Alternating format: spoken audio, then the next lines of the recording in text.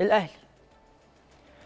امبارح الحمد لله الفريق كسب آه، 1-0 على آه، سموحة في بداية آه، بطولة الدوري. كان بقى لنا سنتين بنتعادل أول ماتش لكن الانطلاقه قوية جدا بالنسبة للنادي الأهلي. حتى لو النتيجة 1-0 بس لكن أنت بتلاعب فريق قوي زي فريق آه، سموحة. آه، مدرب آه، جيد.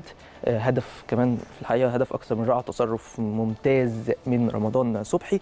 كان المهم بالنسبة لك إيه؟ المهم إن أنت تاخد الثلاث نقط آه، بالأمس آه، عشان تكمل انطلاقة مستر فايلر المميزة حتى هذه اللحظة مع الفريق الأحمر. آه، فايلر كسب مباراة بره أرضه في بطولة أفريقيا كسب السوبر آه، على الزمالك وكسب أول مباراة في بطولة الدوري. الكلام كتير بقى في إيه؟ الأهم طبعا الثلاث نقط. الكلام كتير على بعض العناصر اللي ما بتلعبش أو بعض العناصر اللي بتبقى خارج القايمة والتساؤلات بتبقى كتير.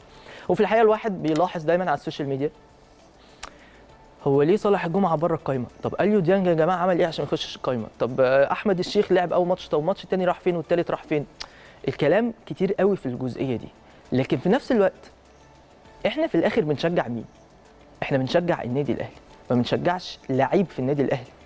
كجمهور يعني للنادي طبيعي إن أنت بتشجع.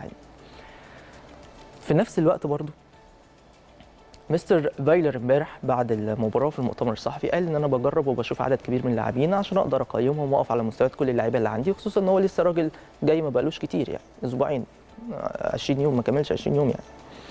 فبالتالي مش مصلحة النادي الأهلي خالص مش مصلحة الفريق الأول لكرة القدم في النادي إن إحنا دايما نقعد نترصد الأخطاء. على فكرة لو صالح جمعة وأحمد الشيخ وأليو ديانج والناس دي جوه القايمة وخرج ثلاث أسماء غيرهم أو أكتر من أو صلاح محسن كمان بالمناسبة لو خرج غيرهم بره هنسأل برضه ليه الناس دي بره؟ فدي دي طبيعة الفرق الكبيرة. بيبقى عندك 30 لاعب القايمة بتاعتك ايا كان عددها قد إيه؟ كلهم لعيبة جامدة كلهم جاهزين جدا إن هم آه، يلعبوا أي آه، مباراة. فالطبيعي والأفضل الأفضل من جمهور النادي الأهلي إن إحنا نركز بس في القايمة بتاعة ال 18 ال score sheet اللي هيخوض أي مباراة. الهدف من أي مباراة إن إحنا نكسب بغض النظر عن الأسماء.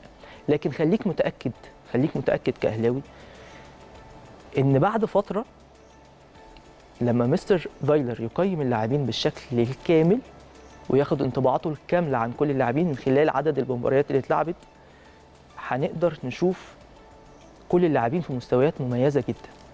وعلى فكرة دي استراتيجية وسياسة. ممكن تكون فيها مجازفة شوية. آه في الحقيقة فيها مجازفة شوية.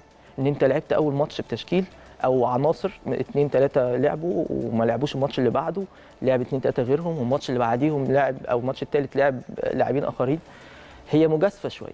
لكن أكيد أو الواضح كمان إن هي مجازفة محسوبة في ظل استراتيجية مستر فايلر في تجهيز أكبر كم ممكن من اللاعبين ومجازفة ليه برضه لأن هو في انطلاقته لازم يكسب ثقة الجمهور. أعتقد أعتقد إن هو كسب ثقة الجمهور وأكيد كسب ثقة الجمهور مش أعتقد ليه. ده واحد خد سوبر من قدام الزمالك في ماتش صعب وعمل مباراة كبيرة جدا. كسب بره أرضه 2-0 كسب امبارح 1-0 الثقة كويسة الثقة اتاخدت عند جمهور النادي الأهلي حتى لو بنسبة ما لكن هي النسبة كبيرة. ففي كل الأحوال هنفضل مساندين لفكر واستراتيجية مستر فايلر عشان هي دي مصلحة النادي الأهلي. وبالمناسبة البعض آه بيقول لك الأسماء فين لكن أنا ملاحظ إن الناس مبسوطة من طريقة لعب النادي الأهلي.